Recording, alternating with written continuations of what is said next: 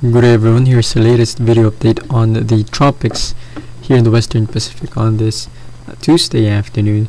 Continue to watch Tropical Storm Maliksi and this another uh, tropical storm that has formed. Uh, this one is in the South China Sea, this Tropical Storm Gaemi. And right now, but first we begin the Tropical Storm uh, Maliksi, just moving across the Pacific, moving north of the Marianas Islands now. So let's look at approximately 430 kilometers south-southeast of the island of Iwo To in uh, Ogasawara Islands of Japan.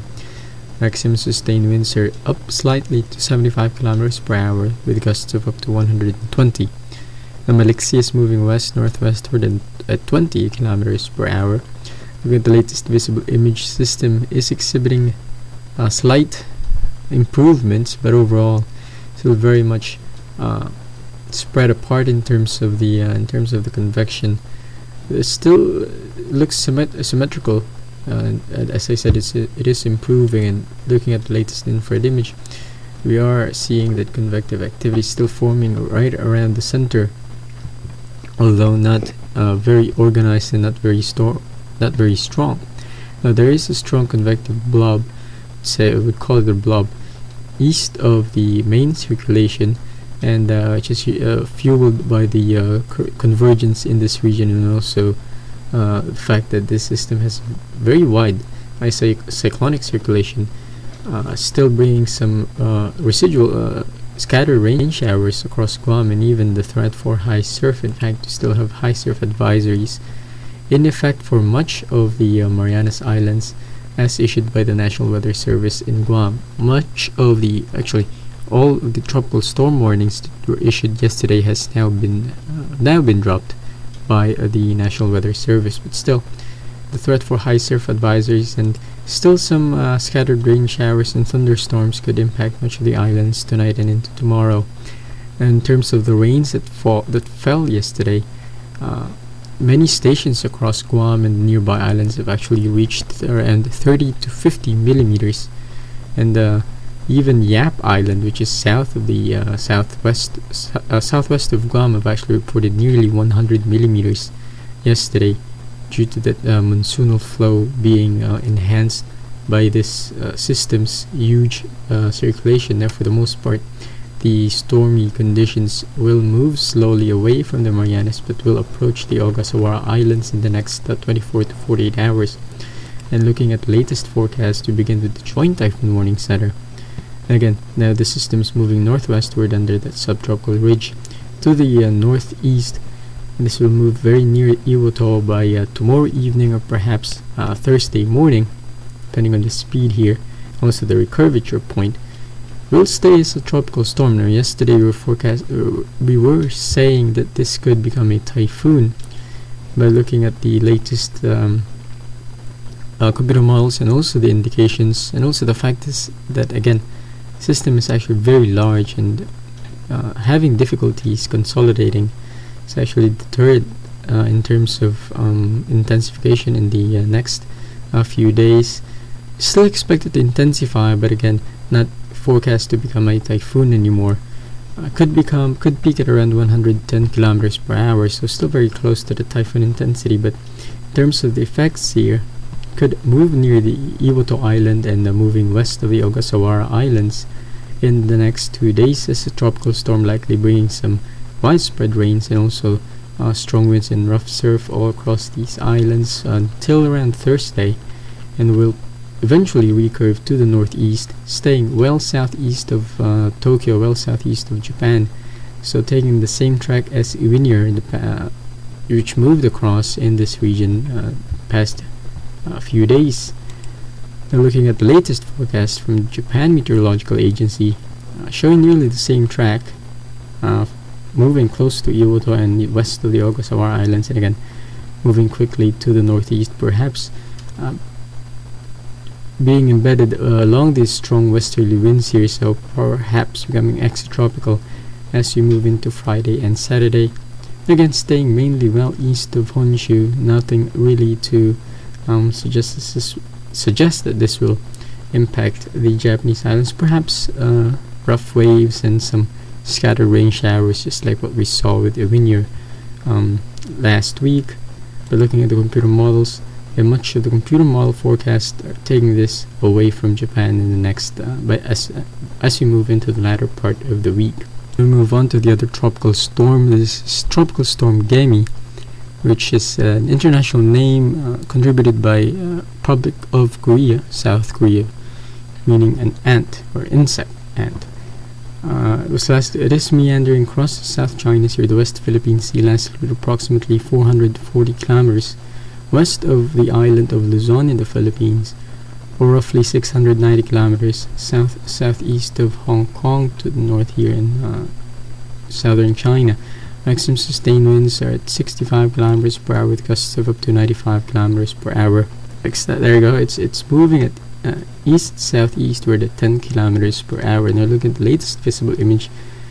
System actually looks slightly better in my in my opinion compared to Maliksi it is much more uh, compact certainly will help the system uh, gather strength or consolidate much probably much quicker uh, or at least slightly quicker than um, Maliksi.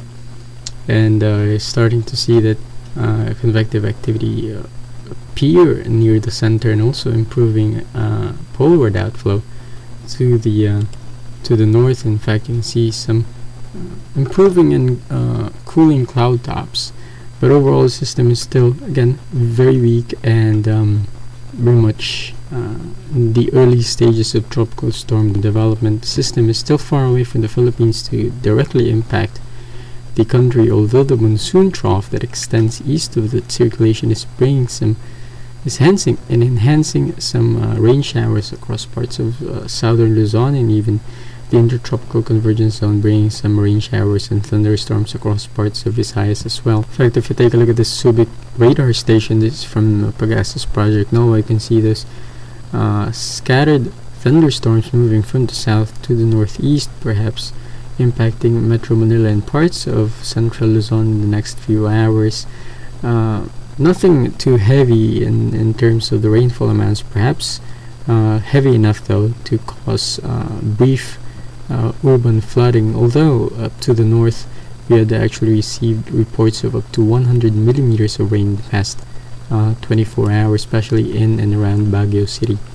Now moving to the south here in Visayas, actually seeing some batch of thunderstorms moving from the west to the east, impacting some islands here in northern Cebu and uh, Bohol and even into Leyte.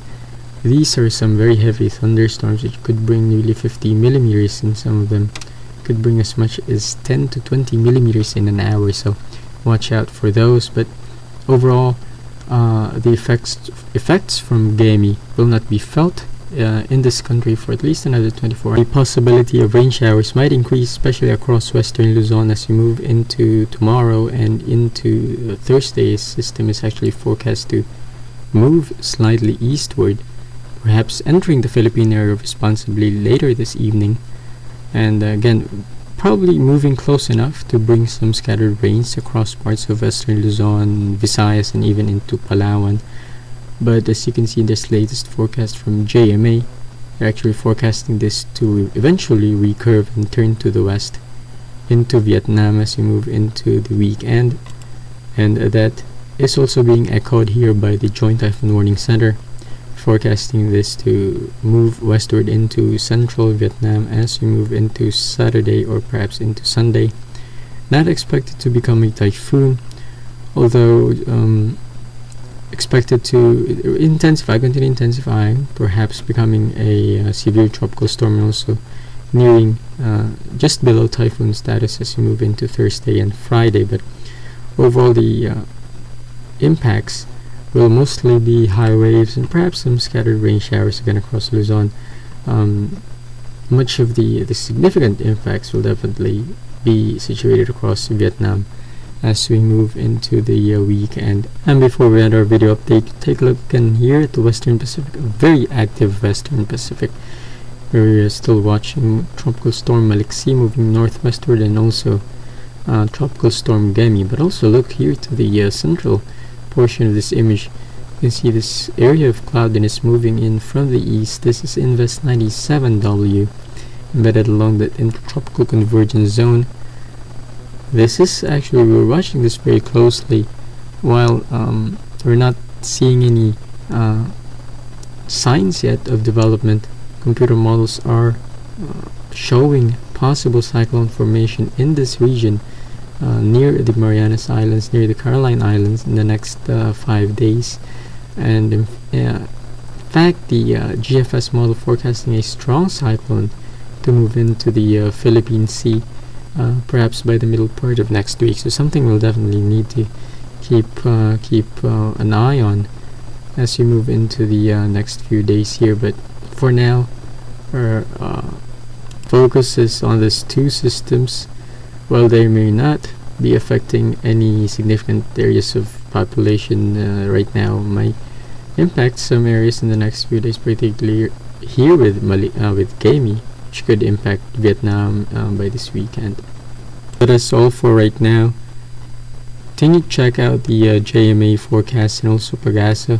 Don't know yet if they're gonna uh, as you said earlier they uh, Tropical Storm Gaemi might enter the Philippine Air Responsibility later this evening, so watch out for their forecast as well. And also the uh, Project NOAH website, where you can uh, watch the latest radar images across the parts of central Luzon and even into Visayas and Mindanao.